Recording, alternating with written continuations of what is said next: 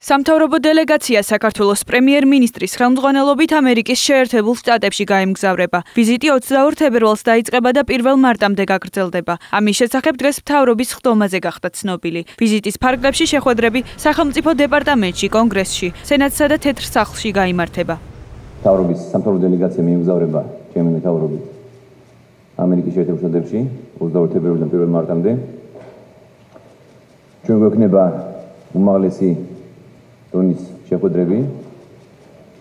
ეს არის მე მდაღვნიშნო ეს არის პირველი უმაღლესი რანგის ვიზიტი ამერიკის შეერთებულ შტატებში ჩვენი ხელისუფლებისთვის. მნიშვნელობა არის უაღრესად დიდი სამთავრობო დელეგაციაში იქნებიან საგარეო საქმეთა მინისტრი მაია ფანჯიკიძე და მისი მოადგილე დავით ზალკალიანი, ასევე ეკონომიკის მინისტრი გიორგი კვირიკაშვილი. მაია ფანჯიკიძის განმარტებით გარიბაშულმა მოწვევა ჯო ბაიდენისგან მიიღო. ირაკლი ალასანია მიიჩნევს, რომ ამერიკის შეერთებულ შტატებში დაგეგმილი ვიზიტი საქართველოს ამერიკის ურთიერთობებში ახალი ათვლის წერტილი იქნება. პრემიერი ჯერ კიდევ ორი თვის წინ მიიწვიეს ამერიკის შეერთებულ შტატებში. იგი არის მიწვეული ვიცე-პრეზიდენტის ჯო ბაიდენის მიერ. ეს მოწვევა საქართველოსში ჩამოიტანა საგარეო საქმეთა მინისტრის მოადგილემ ქალბატონმა ვიქტორია ნულანდმა დეკემბერში, როდესაც იგი იმყოფებოდა თბილისში. მას შემდეგ მიმდინარეობს ამ ვიზიტის მომზადება. საგეგმილი ვიზიტი იქნება ახალი მაღალი ათვლის წერტილი საქართველოს ამერიკის ურთიერთობებში. იქნება უმაღლესი დონის შეხვედრები, სადაც განიხილება ყველა სპექტრი ჩვენი ურთიერთობების, ეკონომიკური, თავდაცვითი, უსაფრთხოების და შემდეგ დარწმუნებული ვარ საქართველოს ამერიკის ურთიერთობების დინამიკა კიდევ უფრო ღრმა, კიდევ უფრო ყოვლისმომცველი გახდება. დაგეგმილია შეხვედრა ამერიკის უმსხვილესი ბიზნესის წარმომადგენლებთან და გვექნება არაფორმალური დისკუსია თუ როგორ რითი უნდა შეუწყოთ ხელი იმას რომ ამერიკული უმსხვილესი ბიზნესები წარმოქმნილი იყვნენ საქართველოში. დღეს რამოდენიმე ბრენდი საქართველოში უკვე წარმოქმნილია, თუმცა ეს არის ძირითადად სასტუმრო სექტორში და ჩვენ გვინდა რომ სხვა სექტორებში განსაკუთრებით სატრანსპორტო და ლოგისტიკურ სექტორში, ენერგეტიკაში ასევე საწარმოო სექტორში რომ მაქსიმალურად შეუწყოთ ხელი ამერიკელი ინვესტორების შემოყვანას.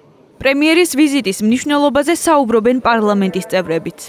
ძალიან მნიშვნელოვანია ბევრი ფაქტორის გამო, პირველი იმიტომ რომ ეს არის ამ ამპლუაში მის პირველი ვიზიტი ამერიკის შეერთებულ შტატებში.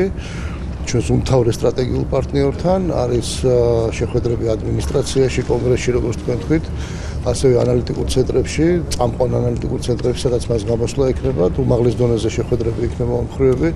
ამიტომ მე ვფიქრობ ყველაფერის გათვალისწინებით, იმის გათვალისწინებით, რომ ეს 2014 წელი ძალიან მნიშვნელოვანია ასოცირების შესახებ შეთანხმებას ხელს ვაწერთ. ნატო სამიტი იმართება ჩვენ ახლა, როგორც არასდროს გვჭირდება ამერიკის შეერთებული შტატების, ევროკავშირის და ჩვენი სტრატეგიული პარტნიორობის რაც შეიძლება უფრო პროაქტიული მხარდაჭერა. თავარი საკითხები უნდა იყოს, რასაკრუელია უნდა ეს უნდა იყოს ხელმოწერა, რომელიც წინა გვაქვს და უნდა იყოს ოკუპირებულ ტერიტორიებთან დაკავშირებული პრობლემები და არაღიარების არაღიარების არაღიარების ოკუპირებულ ტერიტორიაზე არაღიარების პრობლემა და უნდა იყოს ამერიკის მხარდამჭერა, ხარდაჭერა უნდა იყოს ძლიერი, ფიქრობთ რომ დღევანდელი ხელისუფლება ბოლომდე არ იყენებს იმ რესურსს, რასაც ქვია ამერიკა. ღარიბაშვილის ამერიკაში ვიზიტს გამოეხმაურა ამერიკის ელჩი საქართველოში რიჩარდ ნორლანდი. მისი თქმით, ეს ვიზიტი ამერიკასა და საქართველოს შორის არსებული ორმხრივი ურთიერთობის განხილვისთვის კარგი საშუალება იქნება. ამერიკის შეერთებულ შტატებში საქართველოს პრემიერ-მინისტრის სტუმრობა კარგი შესაძლებლობა იქნება, რომ ვაშინგტონში უკრაინაში მიმდინარე მოვლენებთან დაკავშირებით საქართველოს მთავრობის ხედვა მოისმინონ. ეს ვიზიტი ასევე კარგი შესაძლებლობა იქნება ამერიკის შეერთებულ შტატებსა და საქართველოს შორის არსებული ორმხრივი ურთიერთობების განხილვისთვისაც.